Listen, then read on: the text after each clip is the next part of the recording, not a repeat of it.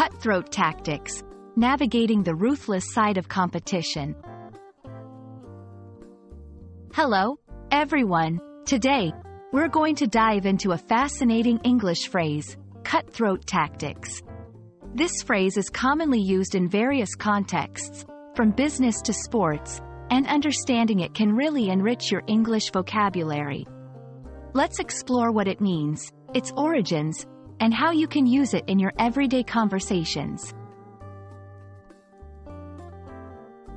First, let's break down the word cutthroat. It's a compound word, combining cut and throat. Originally, it was used literally to describe a murderer or criminal, someone who would cut another's throat. Over time, its meaning evolved to describe anything extremely ruthless or merciless. When we use cutthroat in modern English, we're usually not talking about actual violence, but rather a kind of aggressive competitiveness. Now, let's focus on the phrase cutthroat tactics. Tactics refer to the methods or strategies one uses to achieve a goal.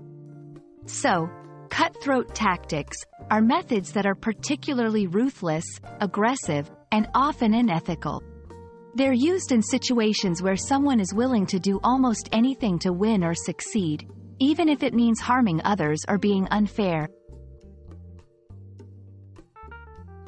To help you understand better, let's look at some examples. 1. In a business context, a company might use cutthroat tactics like undercutting competitors' prices drastically to monopolize the market. 2. In a personal scenario, someone might spread false rumors about a colleague to get a promotion, which is a cutthroat tactic. 3. In sports, a team might play overly aggressively, ignoring the rules or the safety of others, to win a game. Here are some sentences to help you use this phrase effectively. The election campaign is getting more intense, with both sides employing cutthroat tactics to win votes. I prefer to avoid the stock market. It's full of cutthroat tactics and high risks. She realized that to survive in the corporate world, she might have to learn some cutthroat tactics. So, that's all about cutthroat tactics. It's a powerful phrase that describes a harsh, competitive strategy where the end justifies the means. I hope this video helps you understand and use this phrase confidently in your conversations.